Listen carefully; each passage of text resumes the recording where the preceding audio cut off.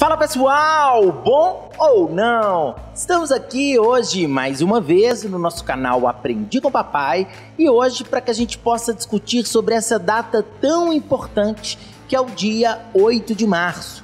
Para contribuir com esse vídeo no nosso bate-papo, eu trago a grande amiga Isadora Fernando, que também é jornalista, historiadora, professora e que hoje faz mestrado em História na UFMG para tratar sobre esse tema de uma forma muito bacana, para colocar na sua redação com propostas de intervenção, indicação de autores, o histórico do dia 8 de março e várias outras questões importantes. Bora conferir?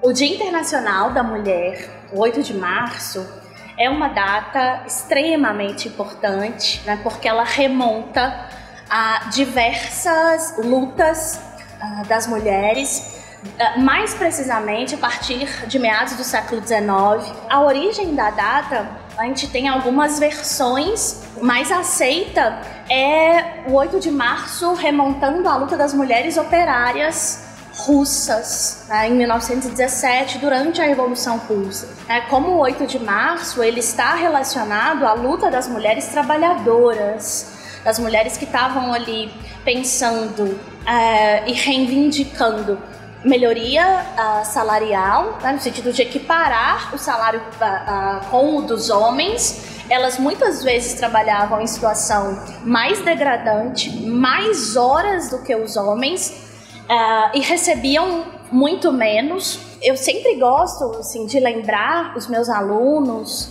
e com quem eu estou conversando de que os direitos da, das mulheres não, eles não foram uh, conquistados a partir de um amadurecimento natural da democracia. Isso não existe, é uma grande falácia. Né? É, os direitos das mulheres foram conquistados porque mulheres foram à rua, enfrentaram a polícia, foram espancadas, foram presas, foram colocadas em porões de prisões, foram torturadas. Então, essa é uma data importante para que as mulheres de hoje percebam que isso não foi natural. Os direitos que elas têm hoje não são direitos inatos, foram conquistados a partir de muito embate. Uma das coisas mais importantes quando a gente fala de é, alterar a condição feminina é a educação né? A importância da educação ela é monumental, porque uh, você não, ninguém nasce primeiro, ninguém nasce tendo consciência da própria opressão. Então isso precisa ser de alguma forma ensinado para você. E eu não estou aqui falando sobre o ensino regular nas escolas. A gente está falando de educação e cultura de uma maneira muito mais ampla, né? muito mais abrangente. A gente está falando de organizações, movimentos sociais, sindicatos, grupos de estudo. Uh, antes da ação, você tem que ter a tomada de consciência. A tomada de consciência só é possível com educação. Leituras para quem quer se iniciar. É conhecer melhor as demandas das mulheres, as lutas femininas, feministas. É, eu gosto muito de um livro que foi publicado em 1963. É um livro muito importante para a chamada segunda onda do movimento. Se chama A Mística Feminina, da Betty Friedan. Tem um segundo livro uh, da, de uma autora nigeriana, Chimamanda, Chimamanda Adichie. É um livro chamado Sejamos Todos Feministas.